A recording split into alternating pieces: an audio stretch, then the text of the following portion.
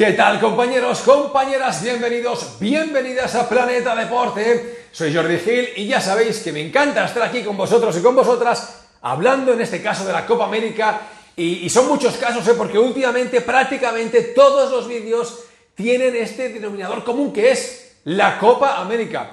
Y si lo merece porque estamos viendo, para mi punto de vista, eh, un gran torneo. Yo me lo estoy pasando genial. Brasil-Perú, qué decepción, en serio, qué gran y profunda y dolorosa decepción este partido. Yo estaba ansioso. En los comentarios que me dejasteis en otros vídeos, os lo decía, quiero ver el partido entre Brasil y Perú, porque Brasil no está tan bien eh, como algunos dicen y Perú tiene hambre, hambre de, de, alcanzar la gloria y este equipo, pues bueno, tiene capacidad de sorprender a la anfitriona. No fue así, fue un partido desastroso de Perú eh, ahora entraremos en los detalles. 0-5 favorable a, Brasil y eso que erraron un penalti al final, podría haber sido un 0-6.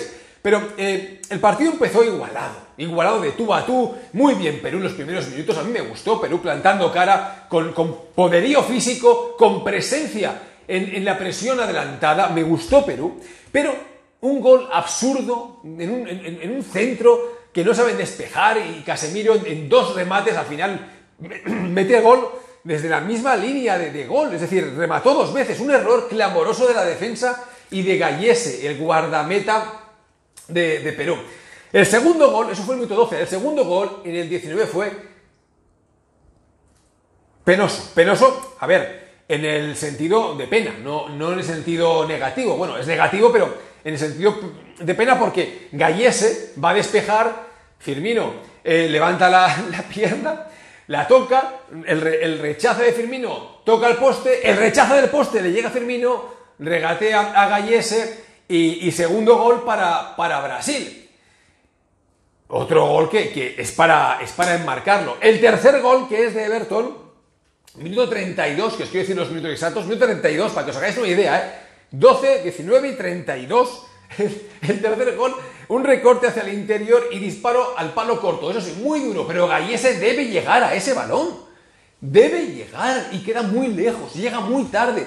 No, es que digas, uy, casi, no, no, no, es que llega demasiado tarde. No es un fallo clamoroso, pero en principio un portero que está en la Copa América titular con su selección, titular con Perú, debería llegar a esa pelota o al menos rozarla, ¿no? Es, es, que no, no, ni siquiera la ha rozado, ha llegado demasiado tarde y se intuía que, Everton iba, iba, a disparar, se intuía, se intuía. la segunda parte, ya pues Alves y William en el 90 ya cerraron la, goleada. Lo que os decía, una gran decepción porque yo quería ver a Perú plantando cara de principio a fin a esta Brasil. De hecho, Perú empezó muy bien, pero ese gol de Casemiro rompió todos los esquemas de la selección peruana y a mí que me sabe muy mal porque no me lo esperaba eh, de, esta, de esta manera. Eh, pero bueno, ¿qué le, vamos a hacer?